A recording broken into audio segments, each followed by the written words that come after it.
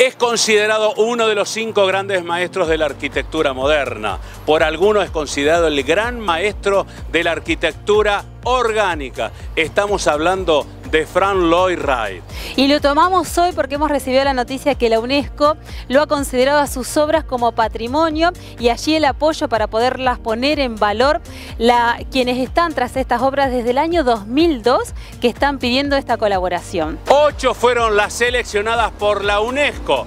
Nosotros vamos a poder visitar dos una en la ciudad de Chicago y otra en la ciudad de Nueva York. Lo haremos cuando realizaremos este viaje de Intenso 2020 que tenemos planificado con Mutual Ingeniería para el mes de septiembre. Así que nos pareció oportuno presentarles al artista, al arquitecto, presentarles las obras emblemáticas que justamente con Jorge te proponemos visitar. Primero hablamos del arquitecto, lo conocemos un poco más y después nos metemos en sus obras. Descrito por La Haya en 1991 como el más grande de todos los arquitectos estadounidenses, Frank Lloyd Wright fue un arquitecto de múltiples talentos, diseñador de interiores, ingeniero y escritor, que defendió lo que él mismo llamó arquitectura orgánica. Esto es, la capacidad de crear armonía entre las diferentes partes de un edificio y sus alrededores.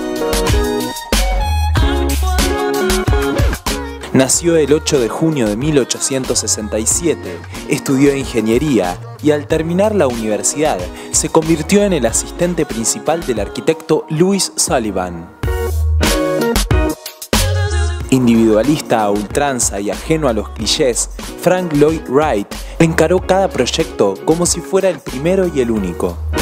Perfeccionó un estilo de arquitectura claramente estadounidense que enfatizaba la simplicidad y la belleza natural, en contraste con la arquitectura elaborada y ornamentada que había prevalecido hasta el momento en Europa. Él creía que los edificios debían servir para honrar y realzar la belleza natural que los rodea.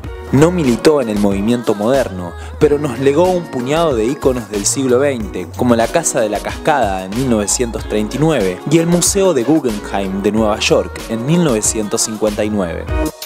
Sin dudas, su obra trascendió, Muchos nunca le creyeron, pero el tiempo le dio la razón.